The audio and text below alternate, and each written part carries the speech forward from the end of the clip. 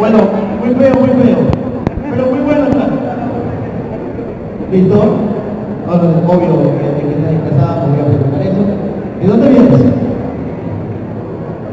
¿De Quito? ¡Viva Quito, carajo!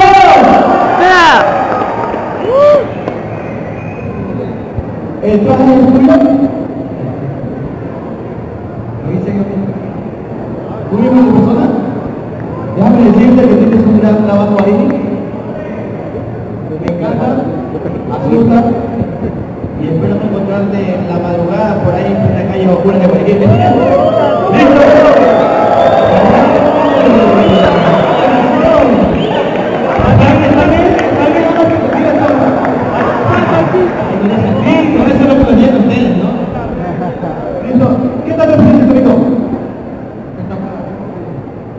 el es lo que más se llamó del comité? Batimóvil, ¿tú me dices? Wow, el batimóvil está increíble. Lo acá. Imagínate tomar una foto de ese batimóvil con el traje. ¿De quién? Eh, Tomar una foto de ese batimóvil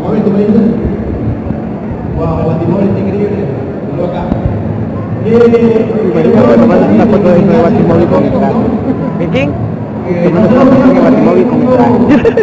Esta persona, usted ve, visita, no me va a ver, no me